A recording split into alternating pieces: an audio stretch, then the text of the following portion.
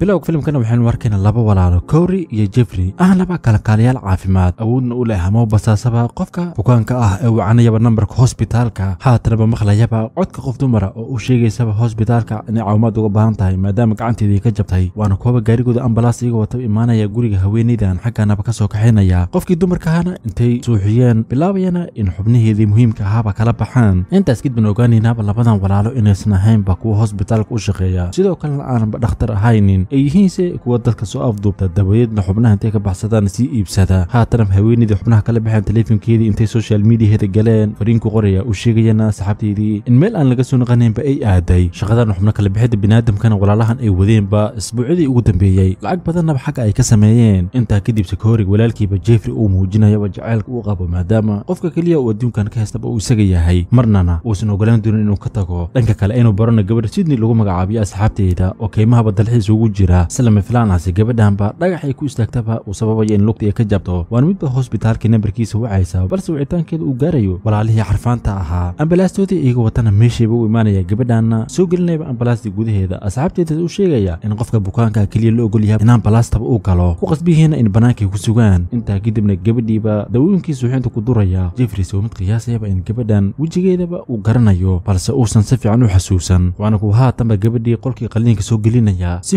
hawshoodii xubna bixintaba ay u bilaabaan. Kooris oo walaalkiis jeffrey ku qasba markiisii ugu horreysay in gabadhan uu caloosha ka qalo oo midba arrinkaaba ka cabsanaya. Kooris wuxuu walaalkii u sheegayaaba in xoogaar kadib ay samayn doonaan meeshiina gabadhii kaga tegaya iyadoo suxsan muddase ka soo wareegd kadib gabadhii sidna ahaydba ay dawadii ka bixaysa jirkeeda. Sarkaysana iyadoo qaawanba meeshaas taagan. Kaameradii qolka ku xirnan intay u soo dhawaataba bilaabaysa inay ku qayliso balse cid aysan u jawaabaynin. Dharkii mid ka mid dadkii meeshan lagu dilana intay xirataba ooyinteedii bilaabaysa maadaama lugta ka jabanba xanuun aad u daran ay ku haysay. Maalinkii sicigay koori ninkii haba uu meesha quraac uu keenayo balse gabadhan ay diidays quraacda ninkaans waa mid isku daya xilliga in gabadhan u ciqaabo balse hal darba weji kala dhacaysa. Ficilkaas kadibse ninkan uu ugu hanjabaya gabadhan inay ka shalaay doonto arrin xunna ay marna u arki doonto bal muxuu ku samayn doonaa? Aan wada aragno. Habeenkiisa oo la gaaray waa bilaabataba sheekada gabadhan oo iska horridaba koori uu meeshaas ugu imaanayo. Bilaabayana in gabadhanba uu kufsado. Subaxdiis kolkay ahayd jeffrey oo gabadhan qolka ku jirta soo gala oo mid arkayaba dhiig meeshaas daadsan isagoo islayaaba dhiiggan meeshuu ka yimid gabadhii oo mid soo toosaysa. Weydiinaysana jeffrey in isagan uu doonayo sidoo kale inuu sado waase muddu sheegaya inuu taas doonaynin. Halkaanaba uu ugu keenay quracdii cuni lahayd balse oo mid ku qasbaysaba in qolka uga baxo. Kadibse gabadhan oo gaajasneed quracdii uu keenaba bilaabaysa inay cunto. Xoogaars kadib labadan walaal waa kuwa qolka gabadhan soo galaya. U sheegayana in haatanba ay doonayaanba lugtan ka dhawacanba ay ka kabaan. Gabadhaanse mid u sheegaysa koori inaysanba doonaynba in lugteeda ay u kabaan. Farhaga qaadeen leedaha. Balse koori mid ugu hanjabaya gabadhanba haddii amarkiisa qaadan weysaba ay ku arki doontaba weji kale oo cusub. Xaggana ugu keenayaba kob gaara oo suuragelinaysaba gabadhan lugteeda ka jabanba inay ku socoto. Isagoose gabadhan lugteeda gelinayay xaasnimadiisa waa midba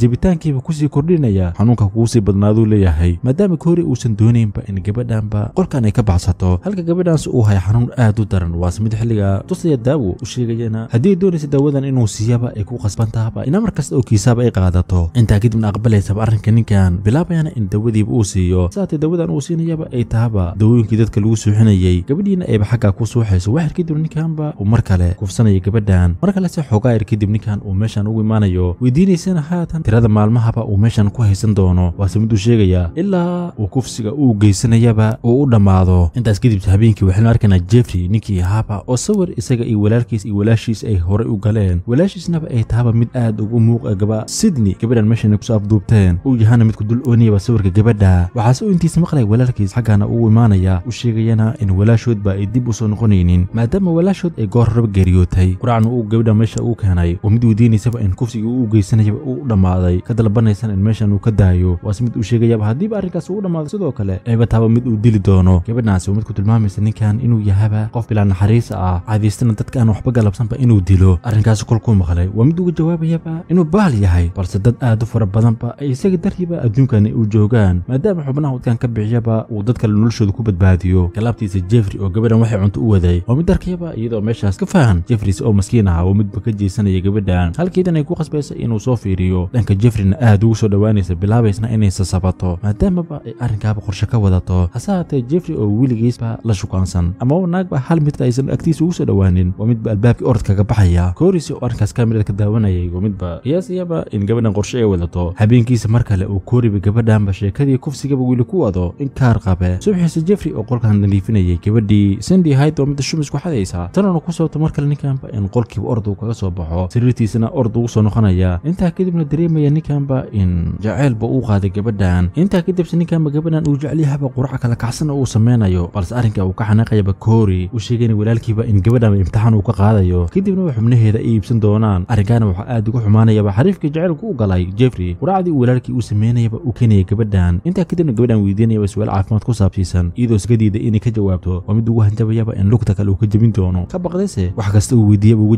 jawaabaysaa sila mid arrimo ku saabsan nolosheeda uga sheekaynaysa inay ahaydba gabadh ardayda aad wax u barata whatsapp iyo facebook iyo messenger waxaasna ayna isticmaali jirin. Kolkuu sakatay kadib xariifkii jecelka hayaba uu qolka ugu soo gelayo halka gabadhaans ay jeffrey ka dalbanaysaba in agteeda uu soo seexdo. Una sheegaysaba jeffrey inuu yahaba ninka ay gabdhaha u baahiyeen maadaama uu yahaba mid ka degan gabdhahan aan dhib u geysan. Walaalkiis koorina uu yahaba mid aad uga fiican. Ahaynaba meesha ku siinaysaa arrinkiisa uu kaamirada ka daawanaya walaalkiisa weyn uuba aad ugu caroonayo haatanse jeffrey uu gabadhan tusayaba sawirka walaashiis. U sheegayana in aad isku egyihiinba. Gabadhii walaashiis ahayd qiyaasayana in walaashoodba iyada tahay xasuusayana kadib dhimashadii waalidiintooda saddexdooda walaale ee ahaayeen kuwa aad isku jecel. Hal sariirna habeenkaas isla seexo jiray jeceyl dartiis balse koori uu bilaabo markaa in gurigooda uu gabdho keeno. Arrinkaanaba ay aad u carootaba walaashoodii maadaamaba ay qiyaasii gabadhanba in kooriba uu gabdhahan kale ka jecel yahay marse walaashood oo xanuunsatay. Ayba dib u soo kaceen xaggaanaba ku geeriyootay. Uuna filayaba dhimashada walaashiis uu ka dambeeyaba walaalkiis koori labadoodana waa kuwa isku raacayaba in meeshan ay ka baxsadaan si ay isku guursadaan. Intaa kadibse koori oo mid u sheegaya jeffrey in sidniba ay taaba gabar sasabanaysa qorshana ay leedahay waase mid hadalka walaalkiis ka dhigatiraya bilaabayna walaalkiis inuu ku qayliyo kuna eedeynayana in dhimashada walaashiis uu isaga ka dambeeyey haatanaba diyaar uu yahaba in jecelkiisa uu difaacdo. Uusan ogolaan dooninba inuu xubnaheeda kala baxo. Marse labadan walaala wicitaan ka helaya wiil dhalinyar ah oo caafimaadkiis fiicnaynin. Ambalaastoodina soo gashanaya. Kooris oo mid sidni gabadhii ahayd baa ku xerxeraya xaggaas. U sheegayana in maantaba show ay daawo doonto. Halka gabadhan ay ka dalbanaysa intaa uu sameynin balse aanan dhegaysanaynin. Wiilkii haatan ay soo afduubteenna gabadhan horteeda waa xubnihii kala baxaya iyadoos wax la qalaya weligeed aanan arkin meeshaaba ku suuxaysa qalliinkaas kadibse koori uu walaalka jeffrey u sheegayaba in caawaba cunto khaasa uu magaalka ugu doono. Kolkuusa meeshii ka teg walaalkiis gabadhii qolka uu soo gelaya u sheegaynan gabadhan in intaanka xaggaba uu sii dulqaadi karaynin. Ogyahana sababta walaalkiis ee jecelka u abuurtaba uu yahaba wejigan keedaa qurxan darteed. Haatana gabadhii afkeedii iyo meel kaleba ka xerxeraya intaa kadibna gabadhan u caddaynayaba in walaashoodii dhimataba aysan iskeed u dhiman balse isaga uuba sun ku dilay sababtuu taas u sameeyana ay ahaydba inuu ogaadaba in jeffrey iyo walaashiisba ay doonayeen inay ka tagaan. Jeffrey oo cuntadii soo gaday qolkiina soo galay mid arkayaba jeceylkiisii oo dhibaato ku jirta. Isagoos arkaa ka xanaqa walaalkiisba kursi meesha ku yaalla madaxa ugu dhifanaya. Koorinaba uu xagga ku suuxayo gabadhii sidnahayd oo soo toosta nasiib wanaag ayba jeffrey madaxa kaga dhifanaysaba bahalkii oksijiinta sila midna isagana uu meesha ku suuxayo haatana gabadhan bay ka soo baxsanaysaba meeshii ay ku hayeen. Intaa kadib walaalahan oo suuxitaanka ka soo toosay koori mid walaalkii uu sheegayaba in dumarka aan gebi ahaanba la aaminin. Arrinkan haatan ku dhacana uu isaga ka dambeeyey. Muddo hal sana oo ka soo wareegatay kadibse walaalahan oo weli shaqadooda wato waxaa soo wacayaba lambar balse kolkii goobtii ambalaastooda ay la yimaadeen waa kuwa xagga lagu soo weerarayo. Intaa kadibna ogaanaynaaba gabadhii sidnahayd ee goor hore sida xun ay ugalayeen iyo asxaabteeda ayba ficilkaa sameeyeen. Soona afduubanayaba labadan walaalo nimaan aarsansa uurkoodiisa ku jiraaye. Keenaysaba qolkii ay goor hore ku hayeen. Raggaanse oo suuxitaanka ka soo toosay kolkay arkeenba inay gabadhii tahay waa kuwa aad ula yaabaya waase mid sidni ka codsanayaba in walaalkiis jeffrey uu sii daayo. Qofka dhibka u geystana uu isaga yahay